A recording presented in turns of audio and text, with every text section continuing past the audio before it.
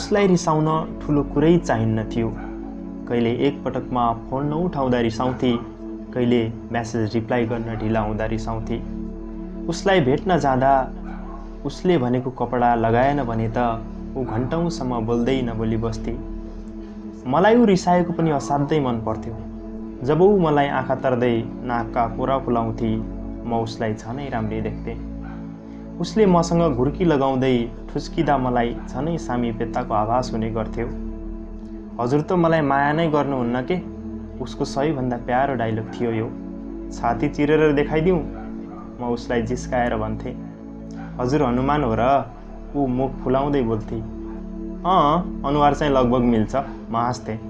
खुब होला ऊ मुख बटार्थे अनि के मिल्दैन त मेरो अनुहार हनुमानसँग?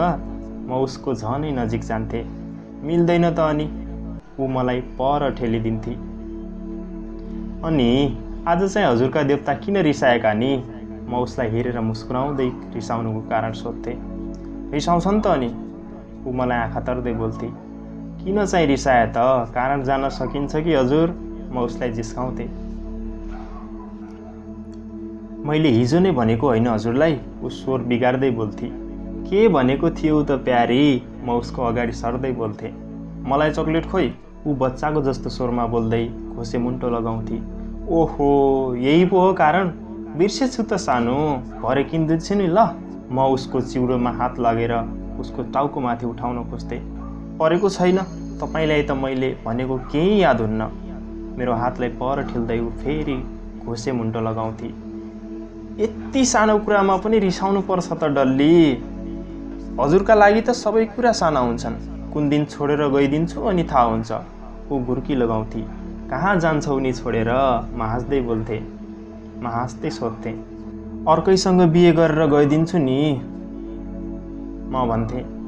म त तिमीलाई जग्गेबाट नै उठाएर ल्याउने हो। खुब होला बरु रुँदै बस्छु भन्नु न ऊ अलिकति हाँस्दै बोल्छे रुन्न है रुन्न म त म मुस्कुराउँदै बोल्छु। हजुरलाई मेरो माया लागे पो रुनुहुन्छ त। ऊ फेरि मुख बिगार्छे। माया गरेकाले छोडेर जाँदा रुनै पर्छ भन्ने छ र डल्ली।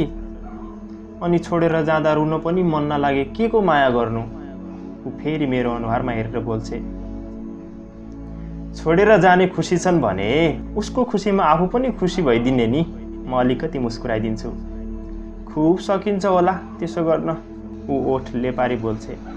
सकिन्छ नि किन नसक्नु? पछि म हजुरलाई छोडेर गइदिन्छु अनि कतिको खुसी हुन सकिँदो रहेछ। विचार गर्नुहोस् है त ऊ खितिती हाँस्दै बोल्छे के अरे साँच्चै छोडेर जाने त होइन नि मलाई? म अनुहार बिगारेर बोल्छु जान्छु त अनि किन मलाई माया नै नगर्नु त?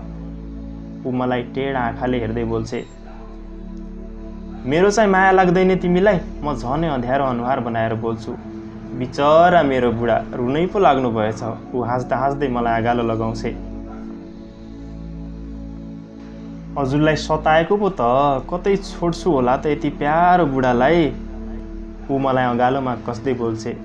म अझै रिसाए चाहिँ घुर्की लगाउँदै केही नबोली बस्छु। ऊ उसका ओठहरू मेरो ओठमा ल्याएर जोड्छे। म चुपचाप ओठ बन्द गरिरहन्छु। मेरो बुढो रिसाउँदा त झन् सेक्सी देखिनु हुँदो रहेछ। ऊ मेरा ओठबाट ओठ हटाउँदै जिस्किन्छे। मलाई हाँसो लाग्छ। म अलिकति मुस्कुराउन खोज्छु। ऊ हतारिएर मेरा खुलेका ओठमाथि झम्टिहाल्छे। म सब थोक बिर्सिएर उसैको भइदिन्छु। यसरी नै हाम्रो सम्बन्ध लामो समय चल्यो। ऊ रिसाइरहन्थे म फकाइरहन्थेँ। ऊ कहिले अभिभावकले चाहिँ गाली गर्थे कहिले श्रीमतीले चाहिँ हक पनि जमाउँथे र कहिलेकाहीँ साथीको चाहिँ साथ पनि दिन्थे। हामी एकअर्काका परिपूरक थियौँ। ऊ बिनाको जिन्दगी कल्पनासम्म गरेको थिइनँ मैले। तपाईँले मलाई छोडेर जानुभयो भने त मरिदिन्छु म त। ऊ कहिलेकाहीँ अँगालोमा टाँसिँदै भन्थे। तिमीलाई छोडेर कहाँ जानु डल्ली? बरु तिमी नै छोड्ला हो मलाई। घरिघरि छोडेर गइदिन्छु भन्छौ म हाँस्दै जिस्काउँथे। तपाईँले माया नगरेको बेला त हो नि ऊ छातीमा टाँसिँदै बच्चा अझै बोल्थे। तिमीलाई मैले माया नगरेको कुनै पल नै छैन डल्ली अनि हुँदैन पनि कहिले। म उसलाई कस्तै बोल्थेँ। ऊ केही नबोली चुपचाप छातीमा टाँसिरहन्थे। मेरो जन्मदिनको दिन उसले भेट्न बोलाइ सधैँ चाहिँ त्यो दिन पनि चक्लेट लगिदिने माग थियो। मैले जन्मदिन विशेष भनेर सयभन्दा बढी नै चक्लेट लगेर दिएको थिएँ। भेट भएर उसका हातमा मैले चक्लेट राखिदिएपछि मात्रै उसले फुर्किँदै मलाई जन्मदिनको शुभकामना दिए। मैले मुस्कुराउँदै उसलाई अँगालोमा लगाउन खोजेको थिएँ। ऊ मेरो अँगालोमा नआइकन हतारिएर आफ्नो ब्याग खोल्न तम्सिएकी थिए।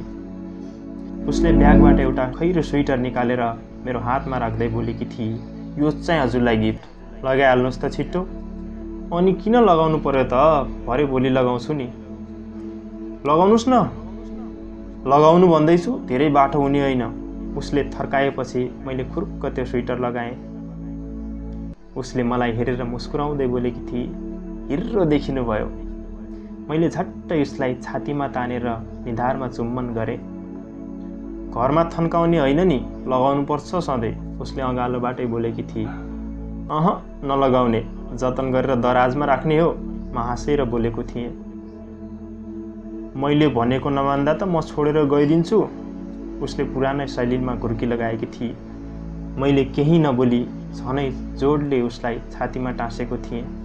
मैले केही नबोली झनै जोडले उसलाई छातीमा टाँसेको थिएँ।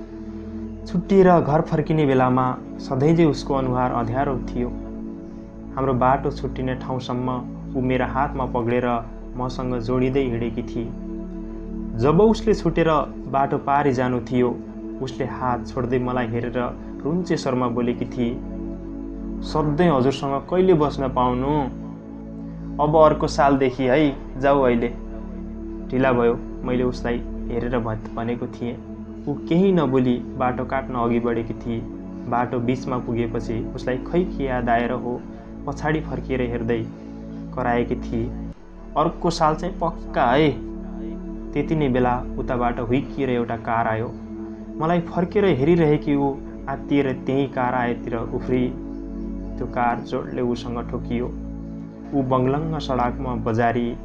म आत्तिएर ऊ दौडन खोजेँ। तर मेरो खुट्टामा हाड नै नभए चाहिँ लुला भएर आए।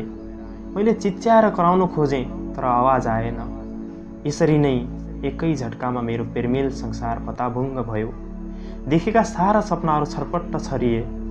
मैले सम्हाल्नै नसक्ने गरी मलाई याद छैन म कति समय उसलाई सम्झेर रोएँ भनेर अचेल रुन कम गरेको छु तर हाँस्न बिर्सिसकेको छु।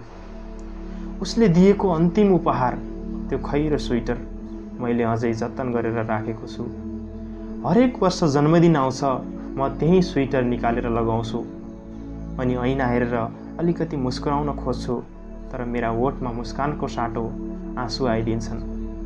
अनि म उसले भनेको सम्झिन्छु पछि म तपाईँलाई छोडेर गइदिन्छु अनि कतिको खुसी हुन सकिन्छ विचार गर्नुहोस् है। भन्दै आँखाबाट तरतर आँसु बोक्छन्।